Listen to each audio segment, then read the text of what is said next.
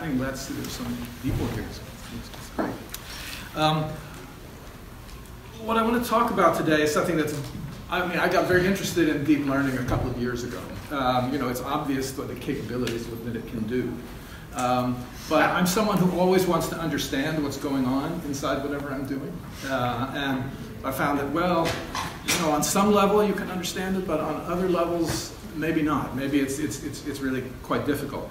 And so what I want to do today is to talk about a way to uh, use TDA kind of methods to generate understanding of what's going on. In our case, we'll do some simple things today with uh, convolutional neural nets. Okay, let's see here. It's not this way. Um, That's this one. There we go. There. You gotta click over that. Got it. Okay, so you just hit. Okay. Yeah. Yeah. yeah. Okay, so deep learning. Uh, very powerful methodology. I think it's, people would agree mostly that what's going on under the hood is not always so clear. Um, it's necessary to gain uh, understanding for many different reasons. Some involve justification of results and uh, just simply giving people some comfort to it. But another, another aspect is simply making the model smaller. So there are many situations now where you have some models that maybe work well in the lab but can't be put on a, uh, on a cell phone uh, and the idea of trying to compress the models is important as well. Um, so we're going to try to present a way to get some understanding. So, okay. So what, is, what do we mean by understanding? Well, uh, we try to sort of think of the weights in a CNN convolutional neural net. The set of weights is, is, some huge formula uh, that's computing uh, values of a function or of a classifier. So the weight form vectors can be thought of as formulae. And what I'll do is I'll think, let me just identify the, the data we're going to be looking at. We're going to be taking a convolutional neural net and we're going to be looking at the weights that come into a particular node. So if I imagine I have two convolutional layers of the same size, and I have one of the, the pixels, and the one, it's only, um, it's got nine weights attached to it. Say if, if I uh, if I build the network in such a way that I connect only one, uh, you know, one spot away in the box. So we're going to think of a data set. We're going to think of trying to understand the set of those vectors, those nine vectors. We call those weight vectors.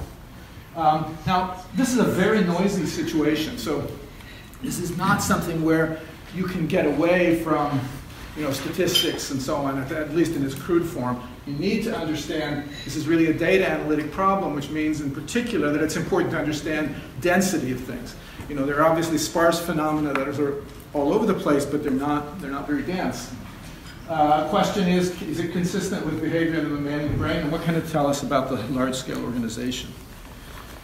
So, and, and, what I want to tell you, what, I'm going to do is I'm going to build a parallel with a, a study that we did uh, some, uh, well, 15 years ago now, 10 which is to study the statistics of three by three patches in natural images. So if you imagine you take an image, um, and I can, it's encoded as a pixel array, I can take the three by three pixel arrays in there, uh, and that's also, that those are nine vectors studying that is very is interesting, but there are a couple of things about it. One is that there's some massively dense thing, which is the constant ones, the patches that are a constant thing.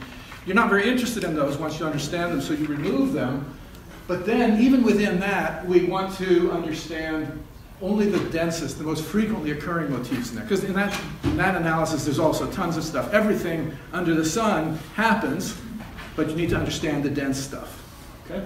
And so that was what we tried to study, the high variance patches, uh, the densest such patches. And we were trying to understand at that time how this uh, connected with uh, the tuning of neurons in the primary visual cortex.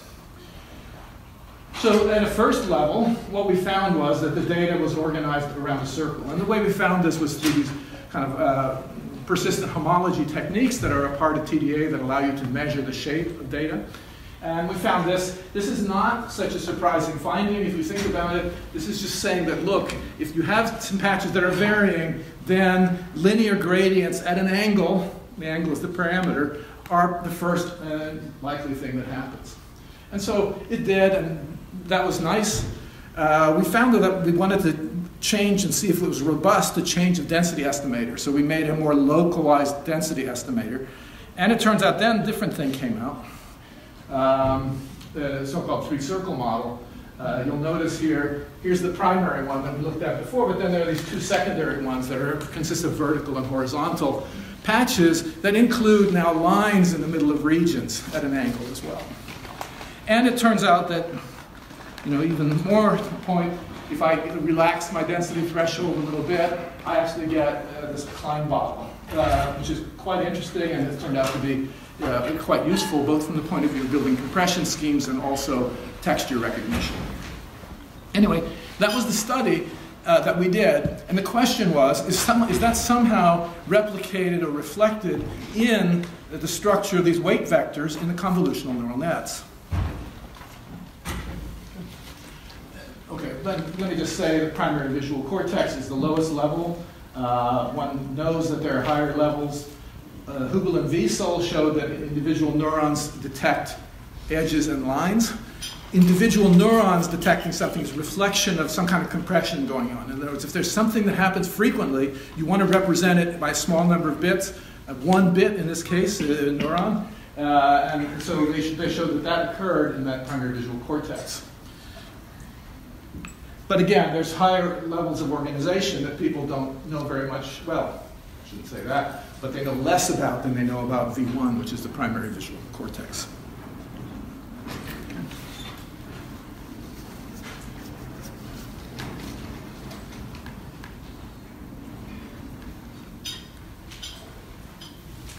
I think we're good. Um, so the question is, we, can we see similarities of the weight vectors with what we found in the image patch data? Can we see what's happening as the network learns? Can we see how that, what, what's going on over time? there? Because we can examine the, the, that, space. And the question also, what are the responsibilities of the various layers? You know, in the human, the, the, thinking is in the human side, you know, the, the, the retina captures the, the images, the V1 captures uh, the, the low-level local features, and then you get, as you go farther up, you get more abstract and, and different features.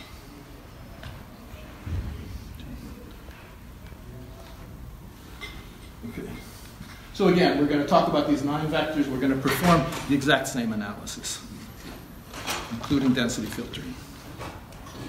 And let me tell you what I'm going to show you. I'm going to show you, well, these are the data sets, first of all. Um, but um, I'm going to show you a representation of the data from two points of view. One from the point of view of Mapper. So Mapper is a method for taking any data set and constructing from it a graphical representation that encodes effectively the similarities in the data set. Um, and so uh, it, it's, it's obtained by you take a projection onto the real line from the data, take overlapping intervals, and take their inverse images. You notice they overlap, I cluster now, not the whole data set, but each bin I cluster. Um, and so what I will get then is a bunch of nodes. You might think this is just a clustering. It's a soft clustering because the nodes can overlap. And what I will do is I will connect any two nodes that share a data point. So,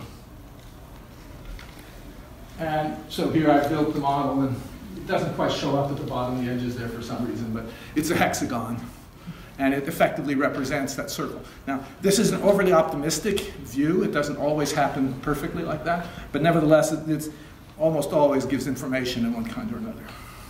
Okay, okay so now here's a picture of what, sorry, of what happened in the, with MNIST in the sort of the very first layer of a, uh, of a depth 2 net. First, no. So what you'll notice here is, first of all, it comes out the mapper representation is a circle.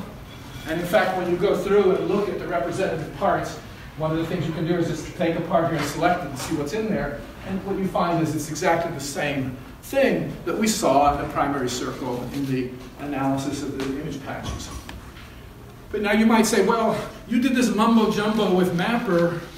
How do I know? How can I measure? How can I say that there actually is a loop there. Maybe, you know, maybe you just built this for slideware.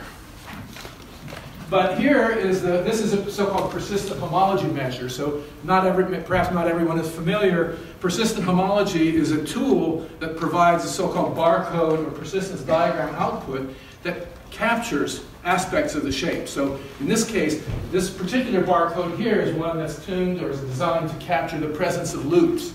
And what you can see is it's got a long bar. That means there's a loop. Okay, so, all right, so very good, right? That gives us, uh, uh, you know, a lot. Tells us that at least at that, at that uh, first layer, that's what happens. Now, we tried to do some other things with other data sets. Um, this here was a more localized density estimator. So we tried to do initially, and we'll come back to this in a bit, but uh, we tried to do the same thing that we did so as to get that three circle model uh, in the case of MNIST. And it sort of works, but not really. It'll, we'll see it much better defined in, in the future, but it points out some of the difficulties here. Um, and this is CIFAR 10, which is another data set. Here you can see it's a little bit complicated. Again, this is just a two-layer net. But here, and this was CIFAR 10, but now we're in the second layer.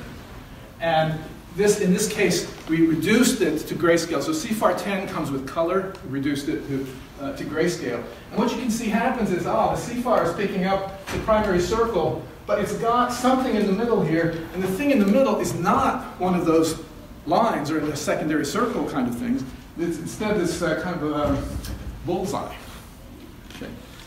Kind of interesting. Yeah, and this is the persistent homology calculation for that. Okay, now, so one a question I asked is what happens during the learning? Okay. Um, so, and this is now CIFAR 10, this is watching what's happening here. And what you can see is, now this is a map representation, you'll notice it looks like a carpet in, many cases, but it's also colored by number of points, data points in a node. So that's kind of a proxy for density. So what you can see is you start out at something that's roughly random, and now the first layer is rather rapidly organizing itself into a primary circle. In fact, it gets to this point, and it's, you know, it's a pretty nice primary circle. Everything down here, the second layer is not doing anything. Okay? Okay, but now what something interesting happens. This is starting to degrade. This circle is starting to degrade a little bit.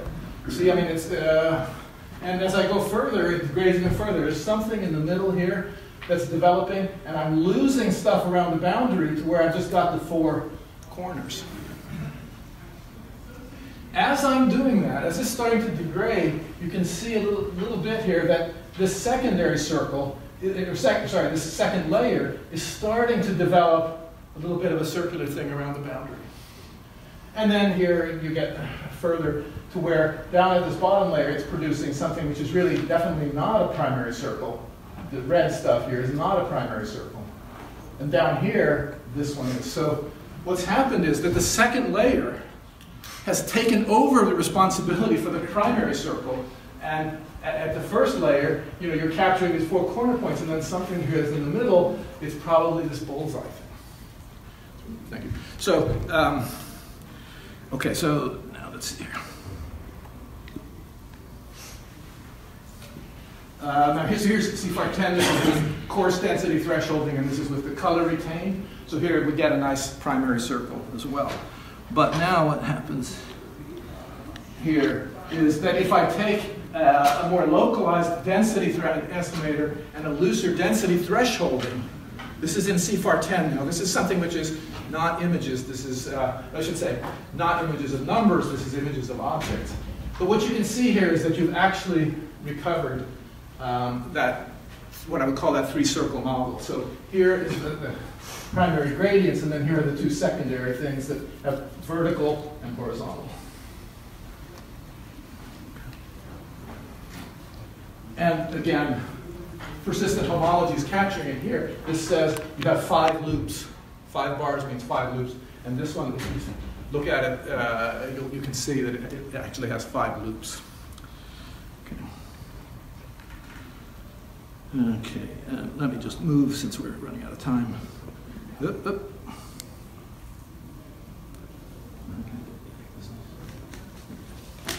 Um, here's an analysis of a much deeper network. And this, I think, is probably more representative of what you have. So, um, so this is VGG 16. So what you'll notice is you've got primary circle, primary circle in the first couple of layers and nothing but. And then over time, you start to capture, here's some secondary circle stuff, um, bullseye, and so on. So that one can see uh, that when you allow the network, it's deep enough, that when the network is deep enough, it does seem to distribute the responsibilities uh, for, for the various layers to the more abstract things as I'm, as I'm growing. Um, notice though that everybody here always has a primary circle. Primary circle is always there. Okay, and So one more minute, just. one more minute, yep, yep, so um, my last slide. Anyways, we did a few couple of experiments. We said, look, having found this, uh, these uh, primary circle and other features, let's hard code those features into the model and, and allow it to run with those, with those features. And so what that allowed is, well, it speeded up training, as you can see, factor two for MNIST, factor 3.5 for a much harder data set, which is this house numbers data set. Um, but the most interesting thing, well, Rickard, my co-author, told me that when you try to, when you tune a model, you train a model on MNIST and try to apply it to house numbers, you get 10% accuracy on the classification. In other words, it's just like random. Okay? Disappointing situation. Okay? So now what we found is though that if we trained it in this hard-coded, uh, you know, a primary circle thing in there, we got the generalization up to 22%. Obviously not where you want to be. I think there's a lot more that can be done this way. I think one should build a deeper network for SVHN, and one should also include the Klein bottle, not just the circle. And uh, I believe that you know much can be done by introducing these features that we understand and get to generalization. Okay, so I'll stop. Thank you. Thank you. So let's take, uh, let's take one, one or two, one minute, one and a half minutes for maybe two questions. Who's got two questions for, one question for Gunnar?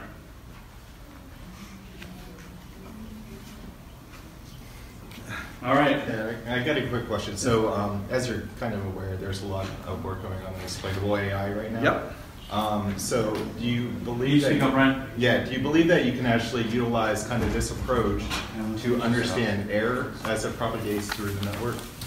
Uh, Through a deep net? Yeah, I, I don't, I don't see why not. Uh, I mean, exactly how you would do that, I, I mean, we'll have to talk about the particular problem, but um, I think what you can do is you can understand what it's doing because you can treat these networks as feature networks, and so you can color them by the individual data points. So you can actually see what's, So the down arrow. and ideally use that to build much smaller ones.